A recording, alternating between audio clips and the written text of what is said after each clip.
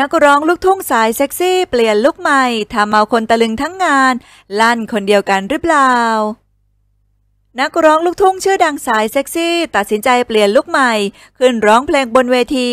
ทำเอาคนตะลึงทั้งงาน แทบจำไม่ได้ว่าเป็นคนเดียวกัน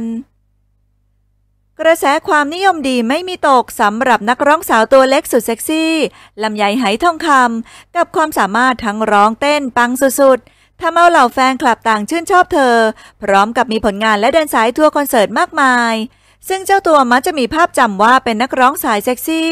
ทุกครั้งที่เธอขึ้นคอนเสิร์ต ก็มักจะถูกจับจ้องว่าวันนี้เธอนั้นจะมาในชุดไหน เพราะแฟนๆต่างชื่นชอบที่เธอนั้นแต่งตัวฟาดความเซ็กซี่แบบจุกๆ ให้แฟนๆได้เห็นอยู่เสมอลำไยสลัดลุคเซ็กซี่เปลี่ยนเป็นสาวหวานแฟนคลับสุดตะลึง ล่าสุดลำไยไหทองคำก็ได้มีโอกาสร่วมขึ้นเวทีร้องเพลง เนื่องในโอกาสครบรอบ 31 ปี แม่พึ่งพุ่มพวงดวงจันทร์ ซึ่งสิ่งที่แปลกตาไปและทำเอาแฟนคลับถึงขั้นตะลึงตาโตกันทั้งงาน เพราะเจ้าตัวเลือกสลัดคราบสาวเซ็กซี่ เปลี่ยนมาเป็นสาวลุกหวาน หน้ามาหน้าใจมาเต็ม มาพร้อมลุคเดรส ยาวสีขาวครีม แหวกหน้านิดๆระยิบระยับ ออร่าสว่างจ้าทั้งงาน ได้ใจแฟน ๆ ไปเต็ม ๆ เรียกได้ว่าลุคนี้แฟนคลับให้คะแนนร้อยเต็มสิบไปเลย ซึ่งลำไยไหทองคำก็ได้โพสต์ภาพลุคนี้ลงอินสตาแกรมพร้อมกับแคปชั่น 31 ปีแม่ผึ้งพุ่มพวงดวงจันทร์